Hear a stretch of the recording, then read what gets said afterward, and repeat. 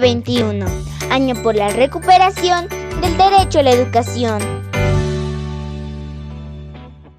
Hola, ¿cómo están? Yo soy la profesora Litsi Martínez Rojas y el día de hoy estamos con los estudiantes de tercero de secundaria. Hoy hablaremos con relación a los principales puertos, productos, comercio de esclavos y la piratería. Presta mucha atención.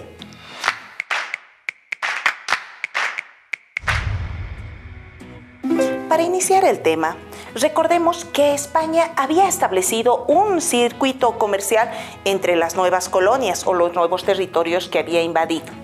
Bien, vamos a mencionar que estos nuevos territorios y la metrópoli se había establecido un circuito comercial. Durante el siglo que se, desarrolló la invasión del continente americano, vamos a mencionar que eh, España va a controlar casi de manera exclusiva el flujo de mercancías a través de una institución, la cual ya la vimos en las anteriores clases, que era la Casa de Contratación de Sevilla.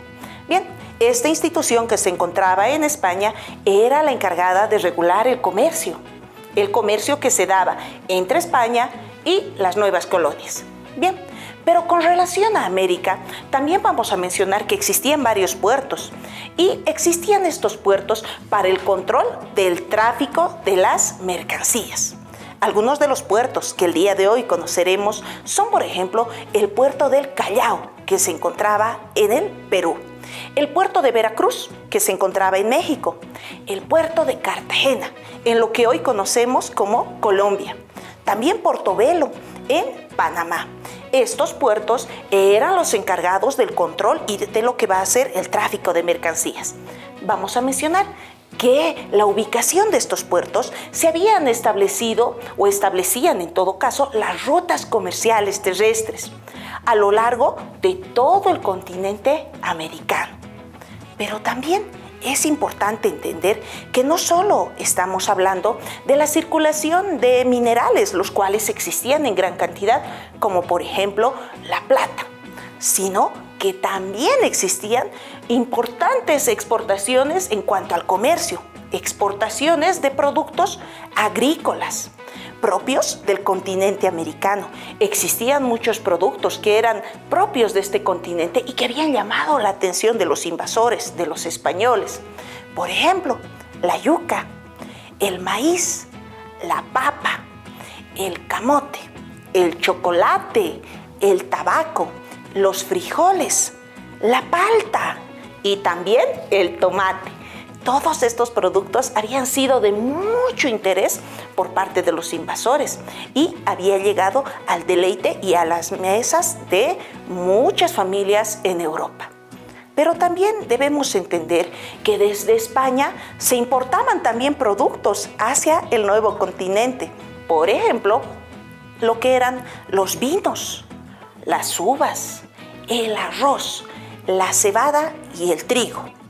Estos productos eran importados de lo que van a ser exclusivamente España. Y la corona española había tratado incluso de monopolizar el comercio de estos productos, es decir, que sean exclusivos de lo que va a ser España. Se cultivaban por este sentido en España y no podían ser cultivados en territorio americano. ¿Por qué? Porque la exclusividad la tenía España y de esa manera transportaban estos productos de España hacia América.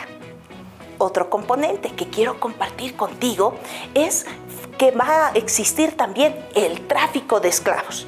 Lamentablemente, la esclavitud durante el proceso de la invasión va a ser bastante común, no solamente en Europa, sino también en otras regiones. Bien, vamos a mencionar que los esclavos habían sido traídos del África para trabajar en las plantaciones de algodón, café o de caña de azúcar.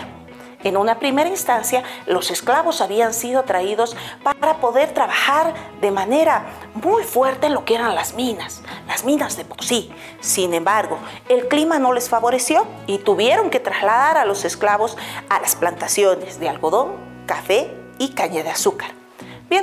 También vamos a conocer sobre la mano de obra importante que eran los esclavos durante esa época de la invasión Y vamos a mencionar que eh, este, este trabajo que habían realizado en las minas de plata de Potosí había también sido reflejado en lo que era la agricultura y en algunas haciendas de todo este nuevo territorio. Es en estas condiciones que las comunidades de afrodescendientes que tenemos en la actualidad eh, existen no solamente en Bolivia, tenemos comunidades de afrodescendientes en países como por ejemplo Perú, Brasil, Colombia o nuestro estado plurinacional de Bolivia. Los hemos adoptado y son parte de nuestro territorio. Es por eso que en el artículo número 32 de la Constitución Política del Estado Plurinacional de Bolivia se reconocen los derechos del pueblo afroboliviano. Y es en estas circunstancias que llegaron durante el proceso de la invasión y se quedaron y el día de hoy forman parte de nuestro Estado plurinacional. Bien, hablemos un poco con relación a la plata de Potosí. En realidad, ¿recuerdas en los anteriores temas que hablábamos de la inmensa riqueza que había brindado Potosí, no solamente este territorio, no solamente América, sino al mundo? Bien, la plata de Potosí había circulado tanto en el continente americano como en los mercados asiáticos. Y además de eso, entre los propios reinos de los estados europeos. Y esta plata de Potosí e incluso había servido para financiar la trata de esclavos, es decir, la compra y la venta de los esclavos. ¿Recuerdas el anterior tema que estábamos hablando con relación a qué había pasado el destino de la plata de Potosí? ¿Recuerdas que habíamos estado hablando también que en México se había también extraído la plata y que habían servido para la fabricación de las monedas que se habían encontrado británicas? Y en el caso de la plata de Potosí, que el destino había sido en el caso de Francia, Italia, España. Bien, entonces también recordemos que la plata había sido también utilizada para la compra de esclavos vamos a mencionar que existían una gran cantidad de mercaderías que circulaban por los océanos.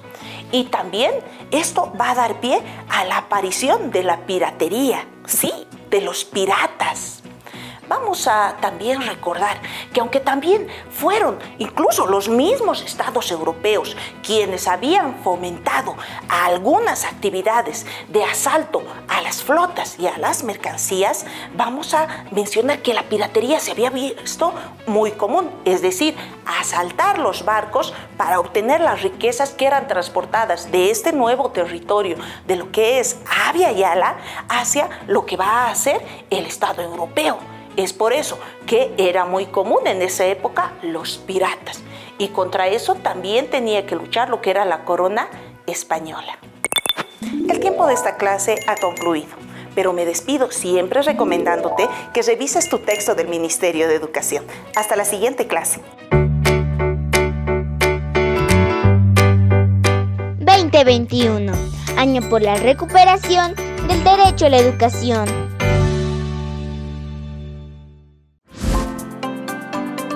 El uso del barbijo es obligatorio.